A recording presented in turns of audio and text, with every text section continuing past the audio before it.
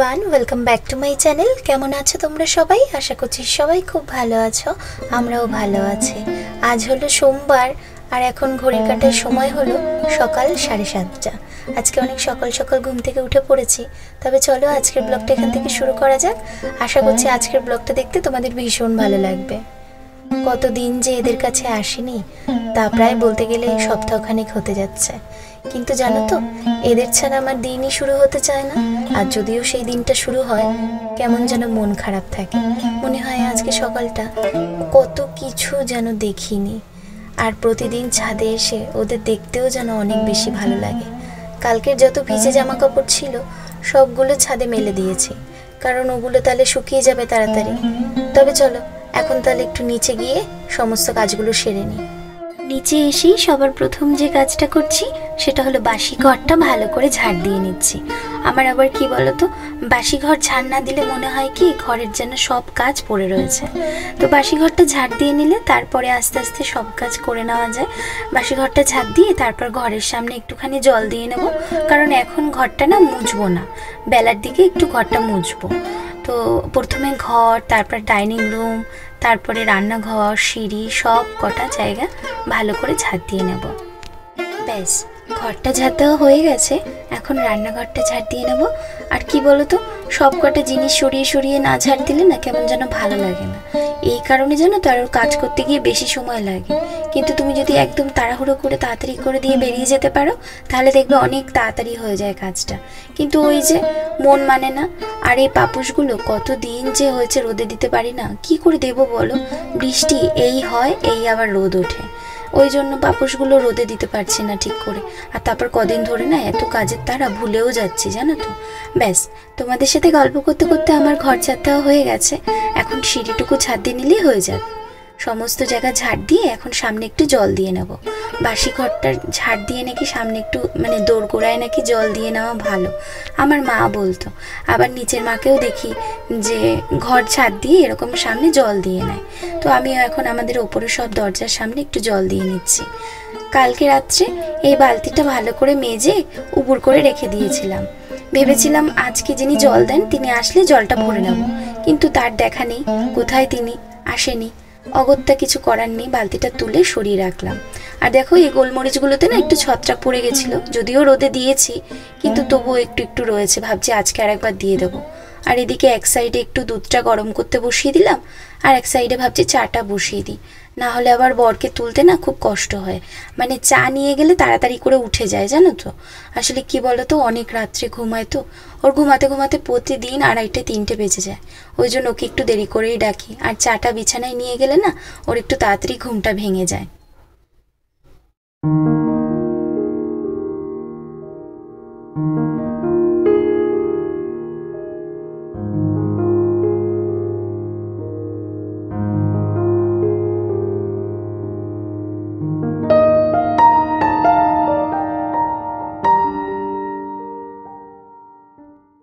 জীবন মানেই কত কষ্ট, তাই না বলো? আজ থেকে এক সপ্তাহ আগেও যে মানুষটা আমাদের বাড়িতে এই পৃথিবীতে ছিল, আজ আর সে নেই। আমার কাকার ছেলে, আমার কাকাতো ভাই। তবে কাকাতো ভাই বলতে নিজের কাছে খুব মানে অস্বস্তি লাগে। কারণ আমি ওকে নিজের ভাইয়ের মতোই দেখতাম। আমার ভাই হওয়ার আগে আমি ওকে পেয়েছি। ওর মুখে প্রথম দিদি ডাক শুনেছি। ওই জন্য ও আমার কাছে অনেকটা বেশি আপন। যখনই কেউ কাকাতো ভাই বলে, তখন কেমন যেন একটু মন খারাপ হয়। গেল সোমবারও ছিল, জানো তো। কিন্তু আজ সোমবার আর নেই পৃথিবীতে। একটা অ্যাক্সিডেন্টে ওর জীবনটা পুরো তছনছ হয়ে গেছে। কাকার একটাই ছেলে। কি যে হবে কাকার আর কাকির, এই সারা দিন ভেবে যাচ্ছি। বাবার বাড়ি গিয়েছিলাম চার পাঁচটা দিন। হঠাৎ করে ফোন আসলো, ওকে খুঁজে পাওয়া যাচ্ছে না।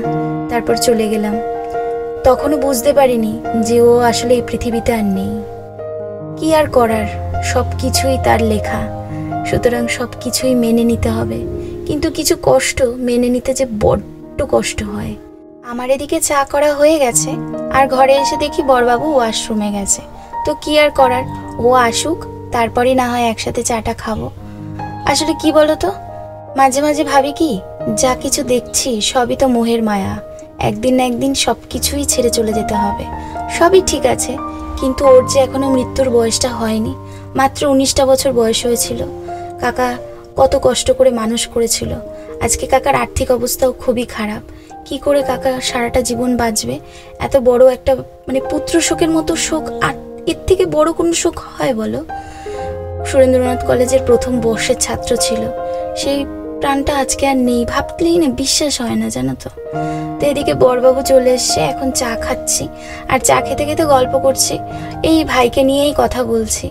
তো আমার বরবাবু এখন বলছে যে চলো রেডি হয়ে নাও। তাই আমি একটু রেডি হয়ে নিলাম। আসলে আমার মন খারাপ তো, ওই জন্য বলছে যে চলো, বাইরে থেকে ঘুরে আসো, ভালো লাগবে। তো আমিও তাই একটু রেডি হয়ে নিলাম। সেরকম কিছুই করিনি। এই জাস্ট একটু কুর্তি পরলাম আর একটু সিঁদুর পরে নিলাম। এই সকাল সকাল আর এই রোদের মধ্যে বেরোবো, এদিকে সানস্ক্রিনটাও শেষ হয়ে গেছে, জানো তো? কিনতে হবে। আর কি করার? তাও বেরোই।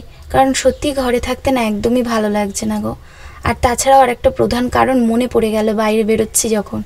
এই যে শ্বেত শিবলিঙ্গটা রয়েছে, এই শিবলিঙ্গটা আজকে মন্দিরে দিয়ে আসব। কি বলো তো আমার এক বন্ধু আমার ভিডিও দেখে বলেছে যে শ্বেত শিবলিঙ্গ বাড়িতে পুজো দিতে নেই। কিন্তু আসলে কি বলতো, আমি যখন কিনেছিলাম, আমি এটা একবারও জানতাম না। জানলে তো আর কিনতাম না। তারপরে সেই বন্ধুর কথা মনে করে আমি ইউটিউব সার্চ করে দেখলাম যে হ্যাঁ সত্যি শ্বেত শিবলিঙ্গ বাড়িতে পুজো দিতে নেই। কিন্তু দেখো, এই শ্বেত শিবলিঙ্গটার উপর না এত মায়া হয়ে গেছে। শ্রীকৃষ্ণ বলেছে, কোনো কিছুর ওপরই মায়া করতে নেই, কারণ কিছুই নিয়ে আসি না, আবার নিয়েও যেতে পারব না। তা সত্ত্বেও সব কিছু বুঝেও মানুষ এত বোকা, আবার মায়ায় জড়িয়ে পড়ে। তো কি আর করার, বেরিয়ে পড়েছে দুজনেই। এখন যাব শিব ঠাকুরের মন্দিরে। আর দেখো, এখানে না বড় করে পুজো হচ্ছে। এটা বাবা লোকনাথের মন্দির। তো এখন যাচ্ছি আমরা সেই কালীতলার যে মেলা হয় না, সেই মেলার পাশে একটা মানে ওই কালীতলার মন্দিরের পাশেই একটা শিব ঠাকুরের মন্দির আছে, যেখানে আমাদের দুজনের বিয়ের আগে শিবরাত্রি করা হয়েছিল। এই যে আমরা চলে এসেছি আমাদের গন্তব্যস্থলে, এখানেই আমার এই প্রিয় শিব ঠাকুরকে রেখে যাব। তাই ওকে বললাম যে, যাও, তুমি গিয়ে দিয়ে আসো, আমি বাইরেই রয়েছি। আজকে আমার বরবাবুরও নাকি খুব কষ্ট হচ্ছে এই শিবলিঙ্গ এখানে রেখে দিতে। আমরা দুজনেই এমন মানুষ যে যে জিনিসটা করা বারণ, আমরা সেটা করি না। কারণ দেখো সব কিছুর পেছনে তো একটা রিজন থাকে না না হলে তো সেটা কেউ বলবে না যে এটা করতে নেই। ওই জন্য আমরা কি করি, সেটা করি না। তবে হ্যাঁ কি বলো তো রিজনটা একটু জানার চেষ্টা করি, কারণ আমিও তো চাইলে কাউকে ভালো করে বোঝাতে পারব, তাই না? আর এই হলো সেই শিব ঠাকুর, যার কাছে বিয়ের আগে এসছি পরেই আমাদের বিয়েটা হয়ে গেছে। প্রচুরবার বিয়ে ভেঙে যাচ্ছিল, জানো তো আমাদের। তারপরে আমারই মন চাইলো যে ও তো খুব শিবভক্ত আমিও খুব শিবভক্ত চলো দুজনে একসাথে না হয় তার কাছে যাই, গিয়ে প্রার্থনা করি, শিবের উপোস করি। তো শিবরাত্রি করেছিলাম দুজনে একসাথে, তারপরেই জানো তো আমাদের বিয়েটা হয়ে গেল। আর দেখো এই মন্দিরের পাশেই না হনুমান ঠাকুরের মন্দির আছে, এই মন্দিরটাও খুব সুন্দর। একদিন এখানেও আসব হ্যাঁ? চলো। তাহলে এখন একটু বেরিয়ে যাই এখান থেকে, অনেক কাজ আছে। এখন যাচ্ছি একটা শিবলিঙ্গ কিনতে। কারণ একজনকে রেখে আসলাম, আর আরেকজনকে যদি না নিয়ে যাই, তাহলে আমার ভীষণ কষ্ট হবে। আর কি বলো তো আমার কাছে না শিবের মাথায় জল না ঢাললে কেমন যেন মনে হয় পুজোটা অসম্পূর্ণ থাকে। আর দেখো, এই দোকানটায় না আজকে প্রথম এসছি। আগে কখনো আসিনি। দেখি এখানে কীরকম শিবলিঙ্গ আছে। আচ্ছা উনি বলছেন যে এই শিবলিঙ্গের দাম হচ্ছে ষাট টাকা। তবে এটা নেব না, এটা ভালো, কিন্তু এর থেকে একটু বড় সাইজ নিয়ে নেব, কারণ এটা আমার কাছে মনে হচ্ছে একটু ছোট হয়ে যাচ্ছে। অবশেষে আমাদের কিন্তু নেওয়া হয়ে গেছে, তবে চলো আগে এই শিবলিঙ্গটা বাড়িতে রেখে আসি। ব্যাস, বাড়িতে রেখে এসছি, এবার পুরো নিশ্চিন্তে একটুখানি সবজি বাজার, মাছ এই সবগুলো কিনে নেব। যদিও এইগুলো কখনোই কিনি কিনিনি। আজকে প্রথম যাচ্ছি বিয়ের পর বাজারে। কিন্তু আজকে যাওয়ার কারণ হচ্ছে কি বলতো? মন খারাপ বলে না বর ঘরে একা রাখতে চাইছে না আমাকে, কারণ ওরও একটু বাইরে বেরোতে হবে। তো বলছে, চলো, একটুখানি ঘুরে আসো, ভালো লাগবে। তো আমিও ভাবলাম, চলো। কিন্তু দেখো, এত বেলা হয়ে গেছে না যে কি করব বুঝে পাচ্ছি না। এদিকে ভাবছিলাম, আজকে একটু রান্না করব। কিন্তু এত বেলা হয়ে গেছে দেখে মা আজকে রান্না করতে বারণই করবে আমি জানি। তো এদিকে দেখো মাছ, সবজি সব কিছুই প্রায় নিয়ে নেওয়া হয়ে গেছে। আর এখান থেকে আলু, আদা, রসুন, পেঁয়াজও নিয়ে নিলাম। আর বেশিক্ষণ এখানে দাঁড়াবো না। মোটামুটি যেটুকু লাগবে নেওয়া হয়ে গেছে। তবে চলো এখন বাড়ির দিকে যাওয়া যাক। কারণ অনেকটাই বেলা হয়ে গেছে, বুঝলে? রাস্তা থেকে যেতে যেতে এই জিনিসটার দিকে চোখ সরিয়ে আমি কখনোই চলে যেতে পারি না। আর মন যখন দুর্বল থাকে, তখন তো আরও বেশি যেন এই জায়গায় আসতে মন চায়। তো নার্সারি হলো আমার খুব প্রিয় একটা জায়গা, যেখানে আসলে রং বেরঙের ফুল দেখা যায় আর মনটাও যেন অনেক বেশি ভালো হয়ে যায়। চলে এসছি বাড়িতে আর দুটো গাছও কিনে নিয়ে এসছি। আমার যখন মন খারাপ থাকে, তখন বর করে কি আমাকে এরকম গাছ কিনে দেয়, জানো তো? জানি যে গাছ কিনলেই মন ভালো হয়ে যাবে। আর এই গাছটা নিয়ে এসছি এই বড় গাছটা আমার বরের খুব পছন্দ হয়েছে, আমারও পছন্দ হয়েছে। আর এই গাছটা দেখে আমি দাঁড়িয়ে পড়েছিলাম মানে এই কচু গাছটা। আমার ছোটোবেলায় একটা ছিল, জানো তো? তারপরে কত খুঁজেছি আর পাইনি। কিন্তু এই কচু গাছটা আমার ভীষণ পছন্দের। কি সুন্দর মাঝখানে একটু রং থাকে। দুপুরে এখন একটা কুড়ি বাজে, আর কি বলব, সকালের খাওয়া দাওয়া কিছুই হয়নি। আজকে পুরো দিনটা ওলট পালট হয়ে গেছে। মন ভালো না থাকলে যা হয় আর কি। তো দেখো, সকালের জন্য রয়েছে আলু সিদ্ধ, বেগুন সিদ্ধ আর ভাত। আমরা কিন্তু প্রতিদিন সকালে বলতে গেলে সিদ্ধ ভাতই খাই। যদিও বিয়ের আগে ভাত খেতাম না, মা বললেও খেতাম না, কিন্তু কি বলতো, এখন তো নিজের সংসার হয়েছে, নিজে বুঝি যে না খেয়ে পড়ে থাকলে সংসারের কাজগুলো করতে আরও বেশি কষ্ট হয়। ওই জন্য এখন অল্প করে বরের সাথে দুটো ভাত খেয়ে নিই কখনোই আমি সকালবেলা আলাদা থালায় আজ পর্যন্ত ভাত নিয়ে খাইনি। তার কারণ আমার একদমই ভাত মাখতে ভালো লাগে না আর খেতেও ভালো লাগে না। তো ওই জন্য নিজে মাখলে তো খেতে পারব না, বর মেখে খাইয়ে দেয়। আর আমার বেশ ভালোই লাগে। ও আমার এই কেয়ারগুলো করে বলে আরও বেশি বেশ ভালো লাগে আমার। তো দেখো, সবজিগুলো সব ধুয়ে নিলাম। এগুলো ফ্রিজে রাখব তো, ওই জন্য না ধুয়ে একটু শুকিয়ে নিলে সবজিটা বেশ ভালো থাকে ফ্রিজে রেখে দিলে। আর কি বলো তো আমাদের বাড়িতে না প্রচুর সবজি থাকে, কারণ এ বাড়ির বাবার সবজির দোকান, তো ওই জন্য হয় কি সবজির কখনোই বাড়িতে কম পড়ে না। প্রচুর সবজি থাকে, আর মা কি করে বুঝে পায় না কোনটা দিয়ে কি রান্না করবে, প্রচুর সবজি রান্না করে ফেলে। আর দেখো, এখন চিংড়ি মাছগুলো আগে কেটে নিচ্ছি মানে এই চিংড়ি মাছগুলো বেছে রেখে দেবো। সবই আমি মাছটা যা আছে না সব ধুয়ে রেখে দেবো। ভালো করে। আবার যখন ফ্রিজ থেকে নামাবো, তখন আবার একটু লবণ দিয়ে ভালো করে ধুয়ে তারপরে রান্না করব। আর এখন এমনি জল দিয়ে ধোবো। আর এই যে চিংড়ি মাছটা দেখছ না, এটা কিন্তু দুদিন ধরে রান্না হবে, জানো তো? কেন বলো তো? কারণ সন্দীপের না একটু অ্যালার্জির সমস্যা আছে, সন্দীপের বুনুর এদের অ্যালার্জি সমস্যা আছে। ওই জন্য দুদিন খাব। কারণ এটা যদি একদিনে খাওয়া হয় আরও বেশি অ্যালার্জির সমস্যা হতে পারে। ওই জন্য অল্প অল্প করে আমি দেই, যাতে একটু কষ্টটা কম পায়। কিন্তু তা সত্ত্বেও না, ও অ্যালার্জি হলেও চিংড়ি মাছটা খুব ভালো খায়। আর এটা হলো পাঙ্গাস মাছ। পাঙ্গাস মাছটা সন্দীপের ভীষণ পছন্দের, কারণ অনেকটা তেল আছে তো, ও আবার এই রকম মাছগুলো খুব ভালো খায়। আর এনেছি একটু মাছের ডিম, কারণ আমার একটু মাছের ডিমের বড়া খেতে ইচ্ছে করেছে। আর উনি আবার বললেন যে, তাহলে আমাকে একটু কষা কষা করে রান্না করে দিও। তো ওই জন্য নিয়ে আসলাম এই মাছের ডিমটা। আর এনেছি লোটে মাছ। তবে মাছটা আরেকটু বড় হলে না ভালো হতো। কি আর করার? বাজারে এই এই সাইজটাই ছিল সব থেকে বড়টা। তো চলো, এখন তাহলে এই মাছটা কেটে নিই। কেটে ধুয়ে নিই তারপরে আবার ফ্রিজে রাখতে হবে। ব্যাস, এদিকে হয়ে গেছে মাছটা কেটে নেওয়া। এবার এটাকে ফ্রিজে দিয়ে দেবো।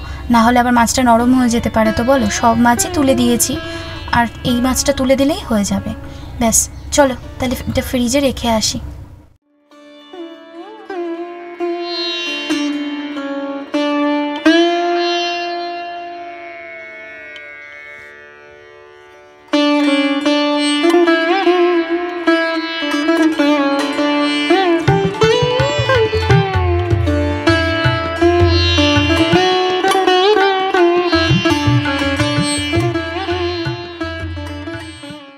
সবজিগুলো সবই শুকিয়ে গেছে। তো ভাবলাম যে এগুলো আগে ভরে দিই, তারপরে না হয় ঘরটা মুছতে যাব।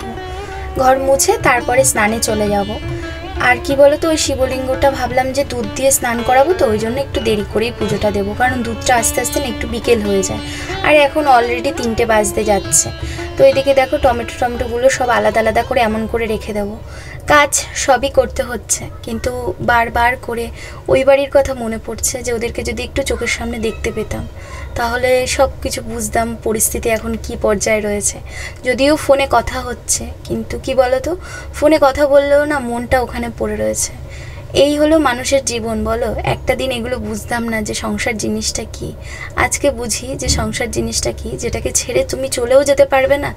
আবার সেই যে আগের বাড়িটা মানে যেখানে তুমি বড় হয়েছো, সেই বাড়িটার ওপর তোমার কত মায়া তৈরি হয় যে একটুখানি যদি শুনি, ওরা কষ্টে আছে, দুঃখে আছে, তাহলে মনটা পুরো ব্যাকুল হয়ে যায়।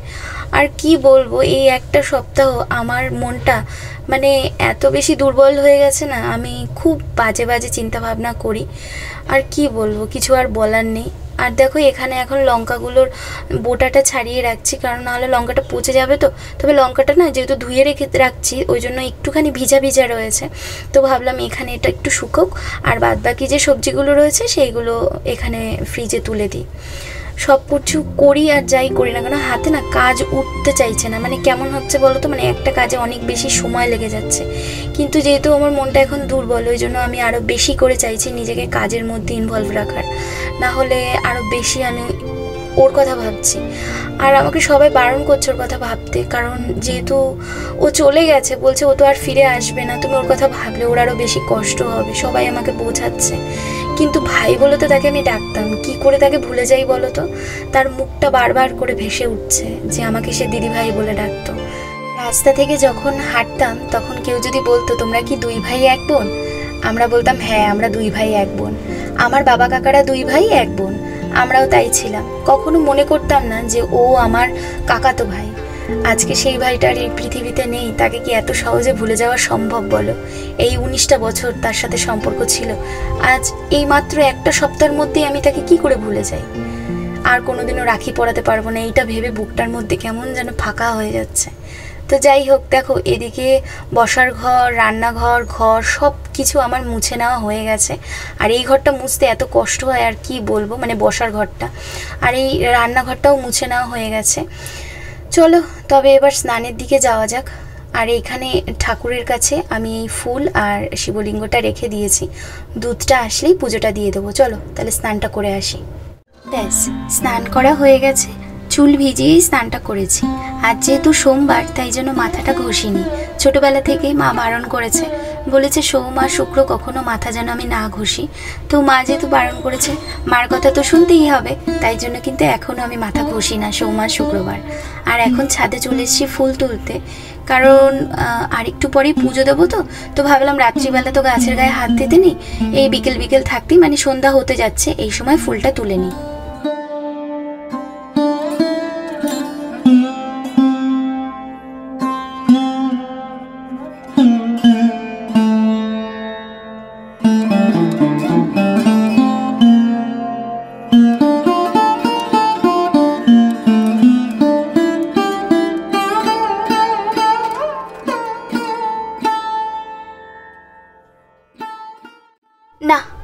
বসে থাকা সম্ভব না। সন্ধ্যা ঘড়িয়ে গেছে, এদিকে ঘরে সন্ধ্যা, পুজো কিছুই দেওয়া হয়নি। তো ভাবলাম, চলো, জল দিয়েই না হয় আজকে পুজোটা সেরে নিই কি আর করার, আজকে দিনটাই খারাপ, জানো তো? সকালে দেখো জলের লোকটা আসলো না। আবার বিকেলে দুধ দিতে আসবে বলে এত দেরি করছে, কিন্তু কিছু করার নেই, কারণ দুপুরে এখনও খাওয়া দাওয়া করিনি। শরীর আর চলছে না, জানো তো? তো ভাবলাম চলো, নাম যেহেতু ভোলে বাবা, ভক্তের এই মন ভরা ভক্তিতে সে ঠিকই সন্তুষ্ট হবে। উনি নাকি অল্পতেই খুব খুশি হয়ে যায়, আর আমি তো এত মন থেকে ডাকছি, খুশি না হয়ে কি পারবে বলো? তো ওই জন্য দেখো জলই ঢেলে নেব এখন, আর জলটা রেডি করে নেব। প্রথমে এমনি জল, তারপরে তার মধ্যে একটুখানি গঙ্গা জল। গঙ্গা জল দেওয়ার পরে তার মধ্যে দেবো একটু মধু আর দেবো একটু ঘি। ব্যাস, তাহলেই হয়ে যাবে জলটা তৈরি। এইবার এই জলটা বাবার মাথায় ঢেলে দেবো। আর একটা আকন্দর মালা নিয়ে এসছি। কিন্তু এখন ভাবছি জানো তো, দুটো আকন্দর মালা আনলে ভালো হতো। তাহলে গুরুদেবকেও দিতে পারতাম। গুরুদেবও আকন্দর মালা খুব ভালোবাসেন। তো কি আর করার? পরে যেদিন বাবার বাজারে যাব, সেদিন দুটো আকন্দর মালা নিয়ে আসব। দুজনকেই পরিয়ে দেবো। কারণ দুজনই আমার প্রাণের ঠাকুর। একজনকে দিলে আর একজনের জন্য মনটা কেমন করে? তো দেখো, প্রায় পুজোটা কিন্তু হয়েই গেছে বললে চলে। এবার একটুখানি খেতে দিয়ে দেবো ঠাকুরকে, তাহলেই হয়ে যাবে। চলো, তোমরা একটু পুজোটা দেখতে থাকো।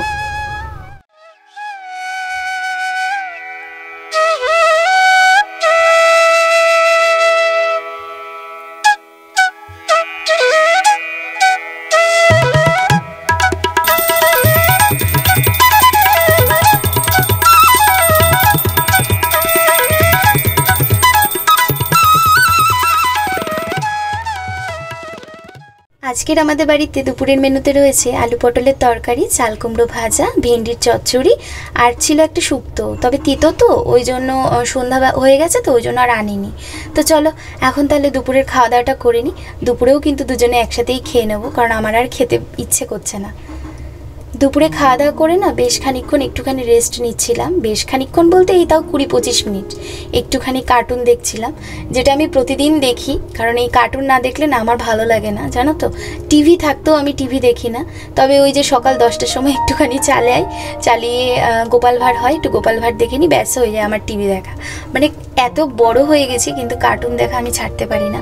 যত মন খারাপ থাকুক, যত মনে আনন্দ থাকুক কার্টুন আমার দেখা লাগবেই। মনে হয় যেন এই জিনিসটা থেকে আমি অনেকটা এনার্জি পাই। তো চলো, এখন তাহলে রান্নাঘরে রাতের খাবারের একটু প্রস্তুতি নিয়ে নিই